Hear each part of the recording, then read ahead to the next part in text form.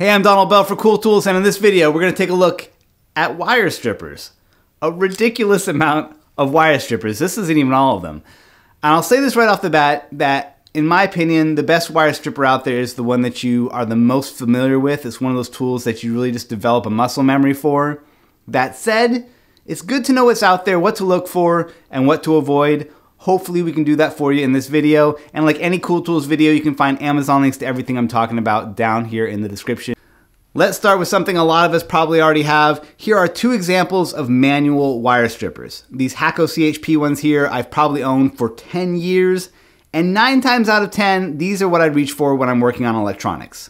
They don't take up much room, they're lightweight, and they lock up to go in your pocket. They handle 20 gauge all the way down to 30 gauge, and also work as cutters and pliers. If you work on electronics and you don't have something like these handy, you did something wrong. I also like that the spring action here allows you to open and close it with one hand. Most of these options I'll show you will spring open like this, but not these. These 8 inch wire strippers from Irwin are intended for electrical work and thicker solid core wire. There are a ton of interesting features packed in here, crimpers, pliers, screw cutters. Unfortunately, these are practically useless for me. I rarely work with electrical, and when I do, I prefer a spring-loaded option that I can operate with one hand. With these, you have to awkwardly flick them open every time you want to use them. I'll admit that I bought these by accident because they come up as an Amazon choice for wire strippers, but what I didn't know is that the page bundles together three different models, and the more useful popular models are the 6 inch and 7 inch ones that have a spring grip. So watch out for that. But really, if there's a Vise-Grip wire stripper to seek out, it's this one. For around $20, this self-adjusting model is, in my experience, the gold standard for this type of tool at this price. I've got four other variations in a similar design that I'll compare it against, but first let me show you how these work if you've never seen one before. The self-adjusting action on these makes it so that when you place a wire in these within a common range, in this case 10 to 24 gauge, the jaws will automatically apply just the right amount of pressure to pull the sheath from the wire. And because it's more of a clamp and pull motion, not so much about the cutting, these are less likely to damage your wire in the process. The other really cool feature of this design is the adjustable backstop. If you've got a job where you need to make 10 or 1,000 identical lengths of wire with a half inch of sheathing removed from each end, you can set this so that you're removing the exact same amount of sheath each time. It makes your work much more consistent. The other elements here are a tensioner so that you can dial the grip up or down a bit for better results. There's also a relatively sharp cutter and a good range of crimping options. Now what makes this specific model so great in my opinion are the small details. They're easier to squeeze so your hand doesn't tire out as fast. The range of wire gauges is actually etched into the metal here instead of painted on the handle. And you get a half inch and quarter inch reference etched in here for the stop block. For reference, here it is cutting and stripping 10 gauge stranded wire, and here it is with the kind of 24 gauge stranded wire I use for electronics. Now let's compare this to a more generic option from a brand called Zoto, though I only know that brand name from the Amazon page. There's no logo on the tool or on the package that it came in, so I think it's fair to expect that this is being sold under a number of different brand names. At $17, you're not even saving that much money. It's the same idea, only the action is a little stiffer, the cutter is on the dull side, and the crimper cutouts aren't what I'm used to. But the biggest difference is that the stripper head is really sharp. It does the job, but it might damage your wires. Here it is on 10 gauge, and here it is with the 24 gauge. Next up, here's a version from Klein Tools. These were $2 more than the Irwin, and Klein has a good reputation for quality, but I was a little disappointed by these.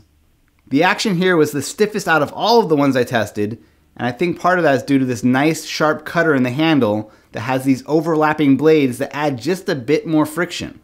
They also added a feature on here that you think would be great, but surprisingly isn't. Instead of using the plastic stop block design that everyone else seems to, Klein went with a metal block. In theory, this would work better and last longer, but in practice, it comes loose pretty easily and the weight of it flops down and becomes annoying. Now, if you have some pliers handy, you can use those to really tighten it down and it will stay put, but then it can be a pain when you need to adjust it later. It's also worth pointing out that the Klein model doesn't include crimpers. Here it is on 10 gauge wire, and here it is with 24. Next up, a $15 option from WorkPro. These are very similar to the Vise-Grip, but $5 less. The differences I can see are that the cutter is a bit dull, the crimper is that less familiar design, the markings are painted on, not etched, and the action is a little stiffer. It's not the end of the world, but with the better tool only $5 away, it seems kind of silly. So here it is with 24 gauge wire, and here it is with 10. And look what happens. It's actually slipping on the 10 gauge, and this is with it all the way tightened down. So if you're looking for a wire stripper to use with larger gauge wire like this, skip this option. Finally for this type, here's an option from Gardner Bender. $22, no stop block, and no tension adjustment. The cutter has a decent edge to it, but overall, I have no reason to recommend this one. Here it is with 10 gauge wire, and here it is with 24. Now that self-adjusting design pops up everywhere, but it's not the only game in town. You'll also see options like this and this. This style is cheap but effective. I picked these up for $14. The action comes down like two sets of teeth. The front teeth hold the wire down while the back teeth bite into the sheathing and pull it away. There's a dial on the back here that adjusts the force of the back teeth, and you also get a stop block adjustment here for the length you want to remove. Down here in the handle, there's also a cutter, though it's not my favorite because it moves around and isn't very accurate. Still, for $14, these are better than you'd think they'd be. They have a nice easy action. The downside is that the way they separate the sheathing is less delicate and leads to some wire damage, especially on smaller gauge wire. Here's what it looks like on 10 gauge wire, and here it is with 24. Finally, there's this type of automatic wire stripper, and it's not really self-adjusting because you need to place your wire in the right cutout for your gauge, but what makes these great is that the die for the blades here is perfectly sized to cut the precise amount of sheathing away from the wire in every direction. The downside is that you can really only fit a limited range of gauges in this design.